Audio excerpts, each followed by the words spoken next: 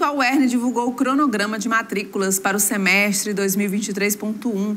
Uma das novidades é a realização da matrícula pelo Sistema Integrado de Gestão de Atividades Acadêmicas, o SIGA.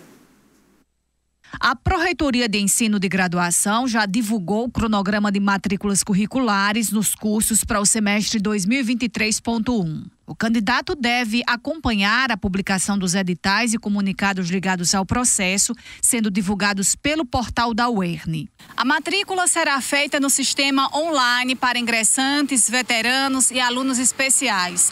E agora com uma novidade, que será o sistema integrado, o SIGA.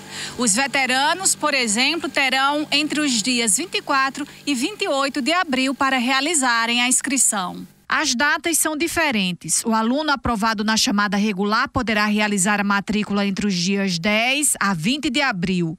Na segunda chamada, as datas se concentram entre os dias 1 a 5 de maio e na terceira chamada, 29 de maio a 2 de junho. Em seguida, o estudante ingressante poderá fazer o ajuste de matrícula também pelo SIGA.